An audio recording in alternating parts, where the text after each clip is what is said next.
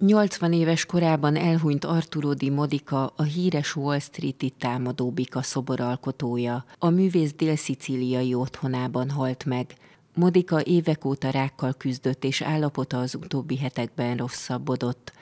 Legismertebb szobrát 31 éve állította fel gerilla módon New York belvárosában, a tőzsde épületénél. Akkor a művész azt mondta, hogy a szobor az 1987-es tőzsde krach előtt tiszteleg, és az amerikai emberek erejét szimbolizálja. A szobor súlya 3,2 tonna, hossza csak nem 5 méter. A támadóbika New York egyik legtöbbet fotózott alkotása. A legenda szerint, ha valaki megfogja az állat különböző testrészeit, annak szerencséje lesz.